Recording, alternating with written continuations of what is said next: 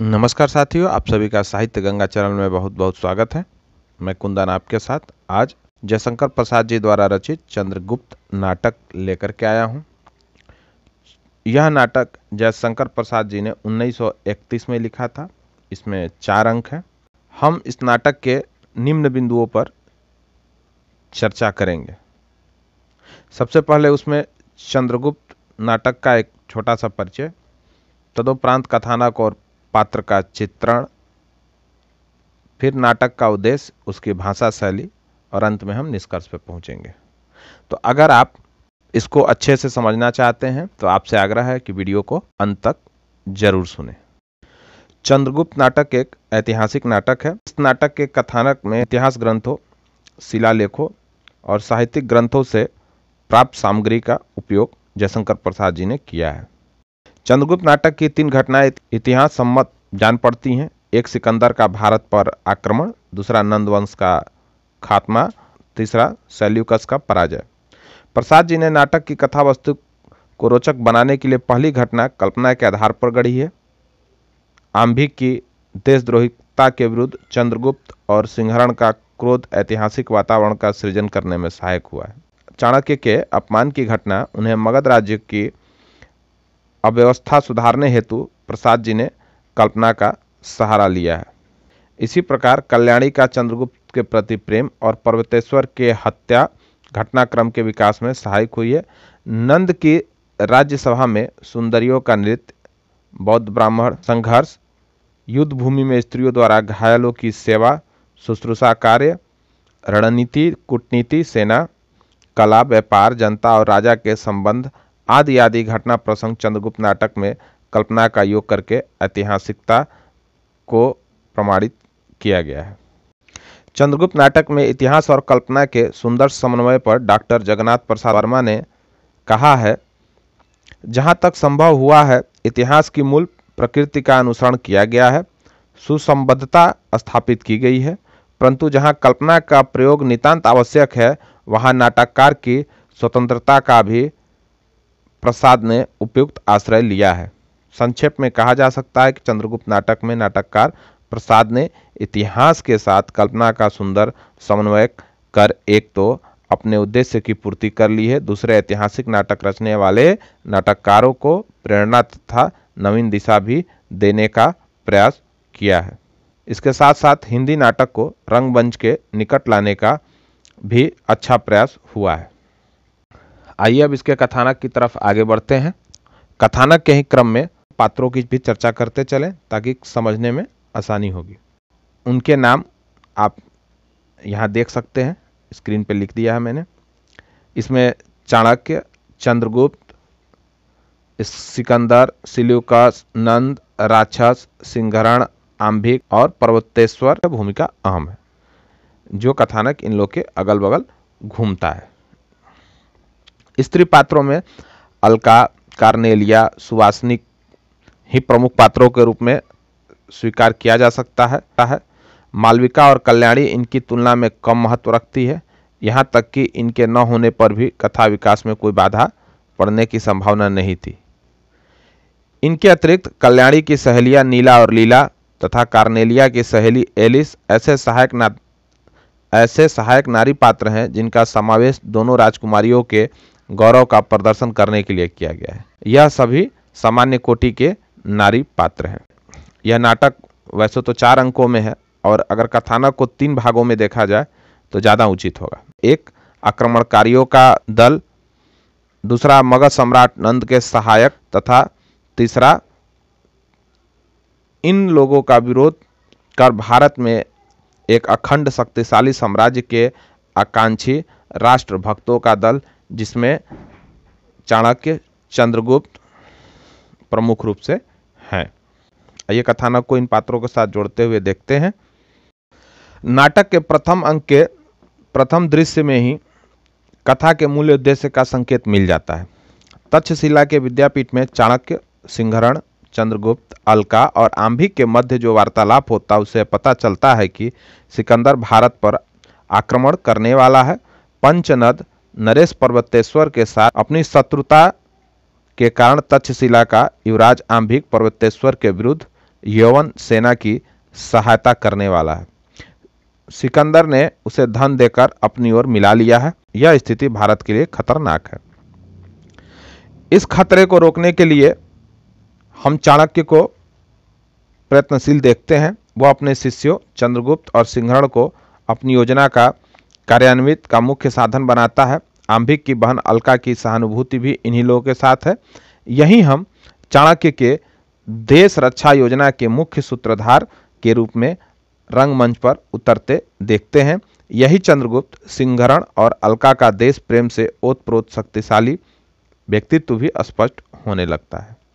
यही सिंहरण और अलका के एक दूसरे के प्रति स्नेहाकुल हृदयों का भी आभास मिलना शुरू हो जाता है।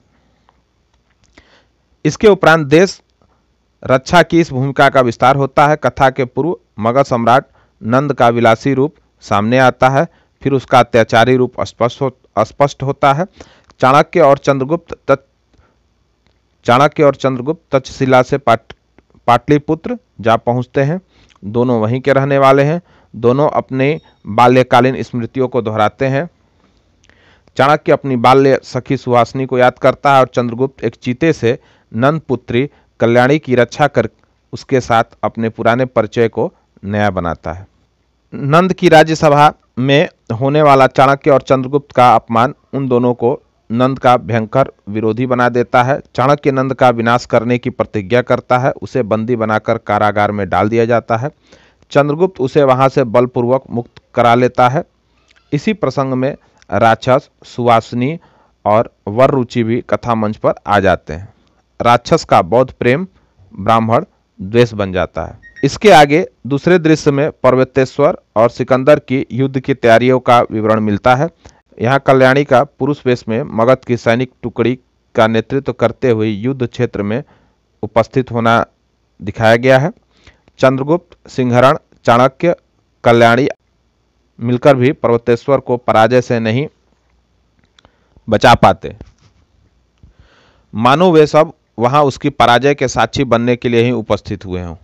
इससे आगे चंद्रगुप्त मालविका का प्रथम दृश्य सामने आता है। यहाँ केवल एक ही बात काम की होती है कि यवन सेना में यह अफवाह फैला दी जाती है कि आगे मगध का कई लाख सैनिक सिकंदर का सामना करने के लिए खड़े हैं। यह सुनकर यवन सेना में आतंक फैल जाता है। यहाँ से कार्य की गति जो बीच में स्थिर सी हो गई थी, पुनः वेग पकड़ लेती है। अलका सिंहरण को पर्वतेश्वर के बंदीगृह से मुक्त कराने के लिए सशर्त पर्वतेश्वर की रानी बनना स्वीकार कर लेती है। पर्वतेश्वर सिकंदर का आदेश पाकर उसका सहायता करने जाता है। उसी अवसर का लाभ उठाकर अलका भी उसके राजमहल से भाग निकलती है। इसके बाद भारत से लौटते हुए सिकंदर पर आक्रमण करने की योजना बनती है। आक्रमण होता है, चाणक्य और राक्षस में कूटनीति का संघर्ष भी होता है। युद्ध में घायल होकर सिकंदर संधि करने के लिए विवश हो जाता है। भारतीय वीर उसे सकुशल लौट जाने की आज्ञा देता है। तृतीय अंक में कथा पुनः मगध की राजनीति की ओर मुड़ जाती है। साथ ही अलका और सिंघरण के विवाह में सिकंदर की उपस्थिति दिखाकर सिकंदर के भारत आक्रमण का उपसंहार कर देता है। चाणक्य कूटनीति का प्रयोग कर राक्षस को नंद के प्रति सशंकित बना देता है। दूसरी ओर अलका सिंहरण के विवाह प्रसंग को लेकर पर्वतेश्वर का क्षुब्ध होना उसके भावी विनाश की ओर संकेत दे देता है। कार्नेलिया और चंद्रगुप्त का प्रणय प्रसंग, फिलिप्स का चंद्रगुप्त को द्वंद्व युद्ध के लिए ललकारना आदि घटनाएँ भविष्य में चंद्रगुप्त द्वारा द्वंद्व युद्ध में फिलिप्स के वध और फिर अंत में चंद्रगुप्त कार्नेलिया के विवाह की सूचक घटनाएँ हैं। इन सब बातों से निपटकर अब कथा पूरी तरह से मगध की राजनीति की ओर मुड़ जाती है। इसमें पहले नंद की कामुकता और क्रूरता का प्रदर्शन कर भावी प्रजा के लिए विद्रोह की भूमिका तैयार हो जाती है। चाणक्य अपनी कूटनीति द्वारा नाना प्रकार के घटनाओं को जन्म देता हुआ अंत में सक्टार द्वारा नंद का वध करवा कर चंद्रगुप्त को मगध का सम्राट घोषित कर देते हैं। इस प्रकार इस अंक की समाप्ति तक चाणक्य का दूसरा लक्ष्य पूरा हो जाता है, जो चंद्रगुप्त को मगध का सम्राट बनाना होता है। यह कथा मंद्र और तीव्र गति से अनेक सार्थक और निरर्थक दृश्यों का नियोजन, आयोजन करती हुई अपनी यात्रा के महत्वपूर्ण पड़ाव पर पहुँच जाती है। और यहाँ से फिर चतुर्थ अंक का शुरुआत होता है और यही इसका अंतिम अंक है। कथा अपने अंतिम लक्ष्य, भारत को एक निष्कंटक, अखंड साम्राज्य का रूप देने के लिए आगे चल पड़ती है। वहाँ से चाणक्य की कूटनीति का चक्र चलना पुनः आरंभ हो जाता है। अपने इसी लक्ष्य को पूरा करने के लिए नाटककार पहले पर्वतेश्वर और कल्याणी को कथा मंच से हटा देते हैं। पर्वतेश्वर मगध का आधा साम्राज्य पाने की इच्छा पाले हुआ था और कल्याणी चंद्रगुप्त को हृदयेश्वरी बनाने की ठान ली थी। अतः नाटककार पर्वतेश्वर और कल्याणी की मुठभेड़ कराकर पहले कल्याणी द्वारा पर्वतेश्वर की हत्या करवा देता है और फिर कल्याणी चंद्रगुप्त से प्रेम करते हुए भी अपने पिता के विरोधी चंद्रगुप्त से प्रणय संबंध स्थापित करती है, फिर उसे यह अनुचित लगता है और वह आत्महत्या कर लेती है।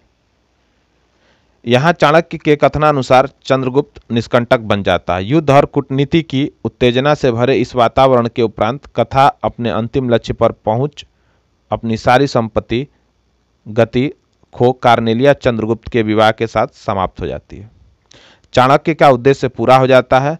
वह राक्षस को अमात्य बनाकर सारा झंझट, त्याग, मौर्य और उसकी पत्नी, यानी चंद्रगुप्त के माता पिता को साथ ले संन्यास ग्रहण करने चला जाता है। आइए अब नाटक के नामकरण और उसके उद्देश्य पर चर्चा कर लेते हैं। नाटककार का मूल उद्देश्य तो उस प्राचीन भारतीय शक्तिशाली मौर्य साम्राज्य की स्थापना दिखाना रहा है, जिसे प्राचीन भारतीय इतिहास के उस गौरवशाली युग की नींव डाली थी, जो एक हज़ार वर्ष का लंबा व्यवधान पार कर भारतीय इतिहास का स्वर्ण युग कहलाया। डॉक्टर दशरथ ओझा के अनुसार चंद्रगुप्त में प्रसाद जी की सबसे बड़ी सबसे बड़ी देन है चाणक्य। इस नाटक में प्राचीन काल के उस राष्ट्रीय स्वतंत्रता संग्राम का अंकन किया गया है जब भारत पर विदेशी आक्रमण हो रहा था। और भारत के राजा पारस्परिक द्वेष, लालच, अहंकार और विलास के मायाजाल में फंसे रहते थे। चाणक्य, चंद्रगुप्त, सिंहरण, अलका आदि ने देश के उस संकट और आंतरिक दुर्दशा से चिंतित हो एक योजनाबद्ध तरीके से पहले विदेशियों से देश की रक्षा की थी और फिर नंद जैसे क्रूर विलासी देशी शासकों का उन्मूलन कर सुशासन की स्थापना की थी। इस प्रकार इन देशभक्तों को देशी और विदेशी दोनों प्रकार के शत्रुओं के विरुद्ध संघर्ष करना पड़ा था। जिस समय प्रसाद जी चंद्रगुप्त नाटक लिख रहे थे, प्रकाशन तो वैसे 1931 में हुआ है, लेकिन लिखा तो उन्होंने उसे पहले ही है। उस समय भी देश के राष्ट्रभक्त लोगों को ऐसे ही दो प्रकार की शक्तियों को विरुद्ध संघर्ष करना पड़ता था। एक तो अंग्रेज़ी विदेशी शासकों का और दूसरा अपने ही देश के रियासतों के राजा नवाब जो भोग विलास में डूबे हुए अपनी प्रजा को पशुओं से भी तुच्छ समझते थे। ये राजा नवाब अंग्रेज़ से आश्रित और उनके कट्टर समर्थक थे। तीसरी ओर भारत में अंग्रेज़ी पढ़े लिखे अफसर, सरकारी, छोटे कर्मचारी और मध्यम वर्ग के लोग अंग्रेज़ी सभ्यता, संस्कृति, साहित्य से गहरे रूप से प्रभावित ऐसे लोग भी थे जो अंग्रेज़ों को ही अपना स्वामी मान स्वतंत्रता आंदोलन का विरोध कर रहे थे। इसलिए राष्ट्र के दीवानों को इन तीनों ही वर्गों के विरुद्ध संघर्ष करना पड़ा था। इस प्रकार प्रसाद ने चंद्रगुप्त युग की घटना को पुनः नाटक के द्वारा प्रस्तुत कर उस संघर्ष के माध्यम से अपने व वर्तमान युग में हो रहे संघर्ष को ही आगे बढ़ाने की प्रेरणा प्रदान की थी। आइए अब अगले बिंदु, भाषा शैली के तरफ़ आगे बढ़ा जाए। वास्तव में नाटकों में भाषा विषयक प्रयोगों को लेकर प्रसाद का अपना एक निश्चित दृष्टिकोण था। जयशंकर प्रसाद जी का कहना था भिन्न भिन्न देश और वर्ग वालों से उनके अनुसार भाषा का प्रयोग कराने से नाटक को भाषाओं का अजायब घर बनाना पड़ता है, जो कहीं अधिक अप्राकृतिक हो जाता है। और सामाजिकों के लिए भी इतनी भाषाओं से परिचय रखना असंभव है।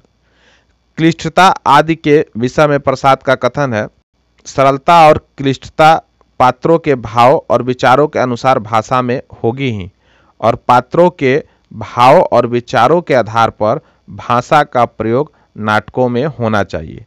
किंतु इसके लिए भाषा की एक तंत्रता नष्ट करके कई तरह की खिचड़ी भाषाओं का प्रयोग हिंदी नाटकों के लिए ठीक नहीं। पात्रों की संस्कृति के अनुसार भाषा, पात्रों की संस्कृति के अनुसार भाव और विचारों में तारतम्य होना भाषाओं के परिवर्तन से अधिक उपयुक्त होगा। चंद्रगुप्त नाटक में मनोवेगों और प्रौढ़ता नाटक की गरिमा के साथ दृष्टिगोचर होते हैं। इसमें मनोवेग को व्यक्त करने की अपूर्व क्षमता है। चंद्रगुप्त का कथानक भारतीय इतिहास के भव्य युग से संबंधित है, अतः भाषा में युगानुकूल भव्यता रहनी ही चाहिए। जैसा कि चंद्रगुप्त में राजनीतिक, दार्शनिक विचारों के गंभीर भावों की अभिव्यक्ति हुई है। अतः भाषा की वैसी ही गंभीरता का होना स्वाभाविक एवं आवश्यक जान पड़ता है। चंद्रगुप्त की भाषा में एक तंत्रता रहते हुए भी पात्र एवं प्रसंग की अनुकूलता है। उदाहरण के लिए चाणक्य की भाषा को ही लिया जा सकता है। राजनीतिक स्थिति की व्याख्या करते हुए उसकी भाषा देखिए, चंद्रगुप्त तुम मालवा हो और यह मगध, यही तुम्हारे मान का अवसान है। चंद्रगुप्त नाटक में भारतीय व पाश्चात्य शैलियों का भी समन्वय हुआ है। रस सिद्धांत को प्रमुखता देकर भी नाटक को पूर्ण तथा सुखांत नहीं बना पाए। वैसे भी जयशंकर प्रसाद जी अक्सर अपने नाटकों या अन्य रचनाओं में कहीं न कहीं वह कविता के कुछ अंश डाल ही देते हैं। वह काम यहाँ भी उन्होंने किया है। प्रसाद जी ने पाश्चात्य शैली के अनुसार संघर्ष को इस नाटक में प्रमुखता दी है, जिससे यह पता लगता है कि इनकी इस नाटक में भी पाश्चात्य नाटक का छाप पड़ा है।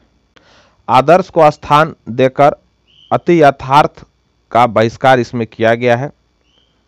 इस प्रकार आधुनिक और पाश्चात्य शैली के साथ भारतीय पद्धति के मूल रूप का ऐसा सुखद सम्मिश्रण प्रसाद ने किया है कि उनके नाटकों का गौरव और महत्व अखंड हो गया है। इस नाटक में कुल तेरह गीत है। यदि एक गीत में छः मिनट का समय भी लगे तो डेढ़ घंटा गीतों में ही निकल जाएगा। गीतों के लिए इतना समय निकाल पाना नाटक में असंभव सा कार्य समझ में आता है। उनके सभी पात्र संस्कृत निष्ठ शैली में बोलते हैं, इससे रसानुभूति में बाधा पड़ती है। इतना कुछ होते हुए भी चंद्रगुप्त में अभिनय की विशिष्टताएँ विद्यमान है। इस नाटक का क्रिया व्यापार वेगमय है। कुछ घटनाओं को सूक्ष्म रूप से दिखाकर नाटक के आकार को कम किया जा सकता है। नाटक का आदि और अंत आकर्षक और प्रभावशाली है। इसमें अनेक दृश्य बड़े रोचक हैं। इसमें वीर और श्रृंगार रस एक साथ मिलकर चलते हैं वह अद्भुत है। सबसे बड़ी बात यह कि इसमें दो मत नहीं हो सकते कि चंद्रगुप्त को पढ़ने या देखने के बाद उसका एक अमिट प्रभाव दर्शक पर न पड़ता हो। आइए अब निष्कर्ष की तरफ़ आगे बढ़ते हैं। इस नाटक का मूल संप्रेषणीय भाव देशभक्ति है। चाणक्य अपने दर्शन से लेकर अंत तक देश के हित में ही सोचता दिखाई देता है। व्यक्तिगत लाभ के लिए उसने कुछ भी नहीं किया। उसकी सारी कूटनीति और सारी शक्ति स्वदेश रक्षा और शक्तिशाली आर्य साम्राज्य की स्थापना के कार्य में संलग्न है। इस ओर निश्चित ही जाने पर वह अवकाश ग्रहण कर लेता है। नाटक के अन्य सभी पात्र प्रखर प्रतिभा के आलोक में मंडित है। चाणक्य सूर्य का चाणक्य सूर्य को अपने प्रकाश का समर्पण कर उसकी पूजा करते दिखाई देता है। चंद्रगुप्त और सिंहरण आदि उसके साध्य को पूर्ति करने के साधन मात्र हैं। यहाँ तक कि इन शास्त्रधारियों को रणनीति और सैन्य संचालन का निर्देशन भी चाणक्य द्वारा ही मिलता है। इनकी विजय गाथाएँ उनके उंगली परिचालन से प्राप्त दिशा बोध का ही परिणाम है। चंद्रगुप्त राजा है, परंतु वह चाणक्य द्वारा बनाया हुआ राजा है। चाणक्य ने उसे बनाया है। वह चाणक्य के बिना कुछ भी करने में समर्थ नहीं है। चंद्रगुप्त द्वारा छोटा सा प्रश्न करने पर भी यह प्रश्न, अभी मत करो, चलो अपना काम करो, विवाद करना तुम्हारा काम नहीं। जैसे उत्तरों से चाणक्य के नायकत्व का बोध होता है और दूसरी तरफ़ इस कहानी में चारों तरफ़ चंद्रगुप्त घूम रहा है। चंद्रगुप्त का इस कहानी का नायक भी चंद्रगुप्त बनाया गया है। इस कहानी का, इस नाटक का नाम भी चंद्रगुप्त रखा गया है। यद्यपि चाणक्य की क्रियाशीलता घटनाओं को देखते हुए और उसकी शक्ति की एकस्थता के दृष्टिकोण से उसे नायक मान लेने को मन कर सकता है। फिर भी वही चंद्रगुप्त के क्रियाकलाप, उसकी वीरता, साहस और मानवीय गुणों के कारण उसका नायक बना रहना असंगत नहीं लगता। अपने लक्ष्य की पूर्ति के लिए चाणक्य परोक्ष रूप से क्रियाशील है तो चंद्रगुप्त प्रत्यक्ष रूप से। यह सत्य है कि चाणक्य मूल प्रेरक भाव है तो उसकी पूर्ति चंद्रगुप्त है। वही सब प्राप्ति फल का उपभोक्ता है। आखिर में सभी कार्यों को अच्छी तरह से पूरा कर लेने के बाद सिद्धि, उद्देश्य और फल को भोगने के लिए चंद्रगुप्त ही रह जाता है। अतः इस नाटक का नायक चंद्रगुप्त ही है, न कि चाणक्य है। और साथियों, इस प्रकार चंद्रगुप्त नाटक की साहित्यिक समीक्षा समाप्त हुई। वैसे तो समीक्षा में और भी बिंदु आते हैं, जैसे कथोपकथन, उद्देश्य एवं समस्याएँ, अभिनीयता। परंतु चूँकि एक वीडियो के माध्यम से इसे आपके समक्ष प्रस्तुत करना है, इसमें समय ज़्यादा लगता है, कई बार लोग सुनते भी नहीं। अतः थोड़ा सा रोचक थोड़ा सा इसे रोचकतापूर्ण तरीके से हमने आपके समझ प्रस्तुत करने का प्रयास किया है। उसी क्रम में कुछ बिंदुओं को हमने छोड़ा है, पर उनकी भी बातें कहीं ना कहीं हमने की है। अगर ध्यान से देखा जाएगा तो वह सारे बिंदु भी हैं। चाहे वह चाणक्य के ऊपर हो अथवा चंद्रगुप्त के ऊपर हो। इसमें नायक चाँद, चाणक्य और चंद्रगुप्त दोनों कभी कभी जान पड़ते हैं, लेकिन वो भी हमने अभी स्पष्ट कर दिया है। दोस्तों, अगर आपको यह प्रस्तुति पसंद आई हो तो आप इस वीडियो को लाइक ज़रूर करिएगा। और इसके पहले हमने ध्रुव स्वामी नाटक भी बनाया है, आप चाहें तो उसे भी देख सकते हैं। इसके बाद और भी कई नाटक हैं जिनको हम आगे लेकर के आएँगे इसी चैनल पे। अगर आपने चैनल सब्सक्राइब नहीं किया है तो चैनल को सब्सक्राइब भी अवश्य कर लें ताकि उसकी सूचना आपको ससमय मिल सके। अगर आपको यह प्रस्तुति अच्छी लगी तो आप अपने साथियों के साथ शेयर करिएगा। हम फिर मिलेंगे किसी नए बिंदु पर, नए मुद्दे के साथ। तब तक के लिए नमस्कार। जय हिंदी, जय भारत।